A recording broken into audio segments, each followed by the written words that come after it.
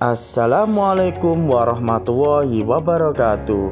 Salam sejahtera bagi kita semua. Om Swastiastu, Om Namo Buddhaya, salam kebajikan. Jumpa lagi dengan Guru Gabut. Kali ini saya memberikan problem catur tiga langkah mati di mana putih jalan duluan dan hitam harus mati dalam tiga langkah. Problem ini sangat unik dan sangat cantik sekali. Bagi para insan catur atau penghobi catur yang ingin memecahkan problem ini silakan. Saya akan memberikan waktu 10 detik untuk berpikir. Baiklah, 10 detik dimulai dari sekarang.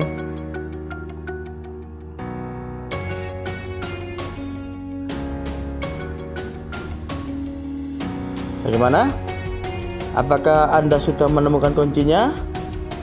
Atau mungkin Anda merasa kesulitan? Baiklah, kita bahas bersama-sama ya.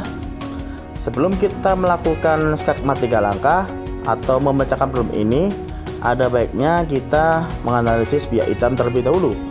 Di sini kita lihat Raja Hitam berada di peta E8 dan Raja Hitam tidak bisa ke mana pun.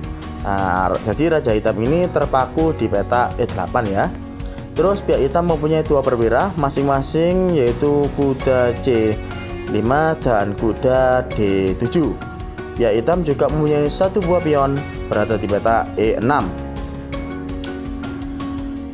Ah, baiklah, langsung saja ya.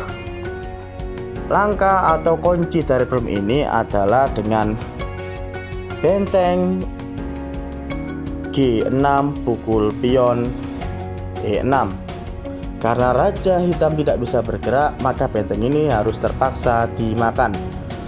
Jadi jawaban hitam adalah kuda C5 pukul benteng E6 Lalu pihak putih membalas dengan menggerakkan kuda B4 ke peta D5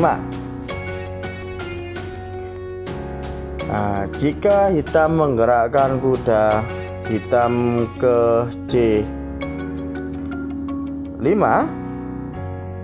misalnya ya ini akan dibalas putih dengan kuda d 5 ke peta F6 skak mat. Dan problem catur tiga langkah terpenuhi. Bagaimana jika kuda kudanya bergerak ke peta lain? Misalnya kudanya ini bergerak ke peta E5 tentu jawabannya akan sama saja yaitu kuda D5 bergerak ke F6 dan tetap skakmat bagaimana jika kuda yang satunya lagi yang digerakkan? Baiklah kita cocokkan sama-sama ya. Misalnya kuda E6 ini bergerak ke peta